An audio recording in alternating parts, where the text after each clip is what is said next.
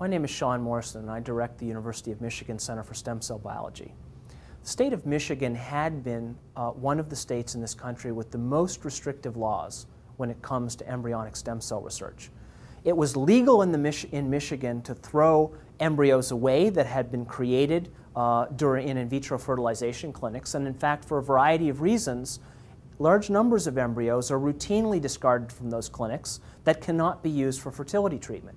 So it was legal to throw embryos away, but it was not legal to take the embryos that were being thrown away and use them to derive embryonic stem cell lines that could be used in medical research that might one day help patients. This was really blocking the ability of stem cell research to develop in the state of Michigan in a way that other states with major research universities didn't have to contend with. So we within the University of Michigan worked to try to improve those uh, state laws. Initially trying to work through the legislature, and when that didn't work, we went straight to the people of Michigan, knowing that there was broad bipartisan support among the people of the state for expanded embryonic stem cell research, much like uh, in other states. It turns out that we as scientists have to be involved in the public policy process because if you're not involved, you get bad laws for bad reasons. Policies end up being created partly out of ignorance, partly out of other agendas that can oftentimes destroy opportunities to make people's lives better. So during the Proposal 2 campaign, uh, we spent a lot of time thinking about how to explain what stem cell research really was, what was at stake, how it could be done more effectively, and how it would potentially help the people of Michigan. Part of that process was in polling and doing focus groups to try to understand what the public understood, what the public thought about the research, what aspects of the research needed to be explained more, and how we could best help people to understand. And in that process, there were a lot of surprises about what the public really understood, what the public was worried about, and how we could best understand it. Unfortunately, our opponents were also, of course, doing polling and focus groups, except they were looking for what they could use to most frighten the public, to cause people to not support the ballot proposal. Politics 101 is if you want people to vote against an issue, you frighten and confuse them. And so sadly, the opponents of the Proposal 2 campaign, when they realized in their own focus groups and polling that that none of the true messages about what the proposal was really about actually resonated with the public and actually frightened them, they decided to run a 100% false campaign where they made stuff up to frighten and confuse the public that just wasn't true. Their first message was vote against Proposal 2 because it'll increase your taxes. Well, there was no funding associated with the proposal. There was nothing, it had nothing to do with taxes. Uh, but they learned in their polling that people were frightened of new taxes. Their second message was that crazy scientists wanted to mix human DNA with animal eggs to try to clone half people, half animals. And they would dress actors up in cow suits and put them on TV to try to frighten people into this brave new world that they would create by voting for Proposal 2. In fact, again, it was obviously a false and ludicrous suggestion, particularly given that cloning remains illegal in the state of Michigan. Prop 2 dealt with the ability to, for, to give patients the right to donate for research embryos that were created by in vitro fertilization and that would otherwise be discarded if not donated for research. So it put that right back into patients' hands, as it is in most other states within the country, to decide what they do with their own embryos rather than leaving those decisions with the state legislature. Uh, Finally, they argued that stem cell research was akin to the Tuskegee syphilis experiments, which was a terrible period in the history of American medical research in which uh, minor minority sharecroppers were victimized in the course of uh, medical research experiments. But of course, that was a turning point in the development of our current notions about medical ethics and patient protection, and nothing like that could ever happen again as a result of federal laws and other kinds of state laws uh, and, and the more sophisticated notions we have about what medical research should be.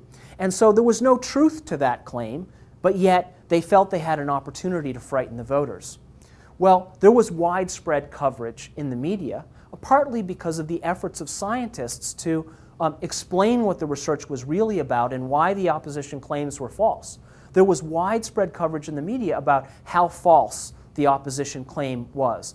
And it eventually, during the campaign, engendered anger in the general population about how this special interest group was trying to defeat this uh, proposal by tricking the voters into voting against their own uh, self interest and against their own values. What we learned as a result of that campaign is that hope and truth prevail over fear and misinformation, and that scientists can play a really critical role in making sure that the right thing happens in the end by being clear and by spending the time to explain the research to the general public. In one of the interesting things that we learned as a result of the polling that we did uh, prior to the campaign was that we asked people to rank sources of information in terms of credibility. And we listed 10 different sources of information. Uh, your friends and family, your physician, your pastor, university professors, etc.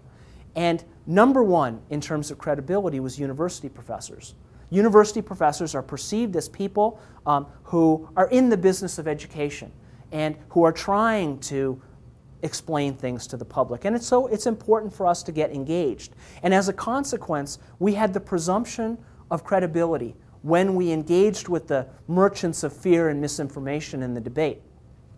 Uh, and so we, we owned the moral high ground in this debate because we had the capacity to defend our position by telling the truth.